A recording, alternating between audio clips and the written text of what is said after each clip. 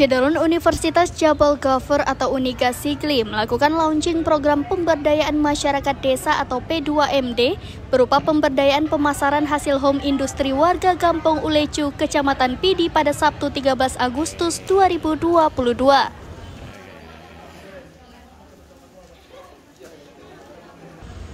Hadir dalam kegiatan itu Rektor Uniga Profesor Dr. Bansu Irianto Ansari MPD, Wakil Dekan Fakultas Ekonomi Husaini Abdullah SEMM, dosen pendamping program P2MD M Nur SEMSI, Ketua Prodi Manajemen Boy Haki SEMM, Ketua Prodi D3 Akuntansi Ramzizah SEMSIAK, D3 Keuangan dan Perbankan, Cut Yusniadar SEMSM, Unsur Muspika Kecamatan, Geci setempat Muhammad Irsal.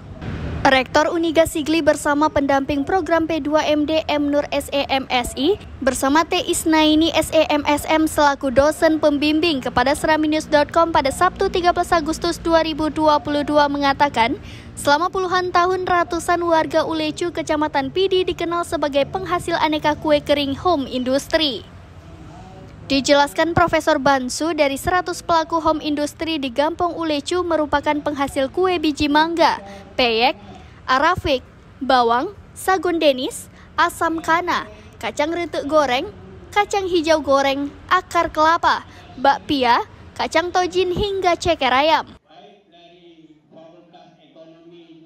Dengan hadirnya program P2MD yang melibatkan dosen serta 10 mahasiswa jurusan Diploma 3 atau D3 Keuangan dan Perbankan selama 6 bulan, akan merubah pola pemasaran produk dari lima kelompok di Ulecu secara offline maupun online.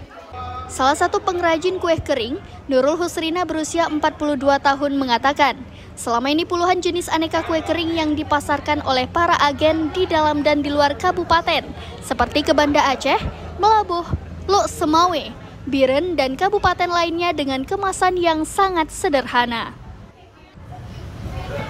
Dari PD, Idris Ismail, Serambi On TV.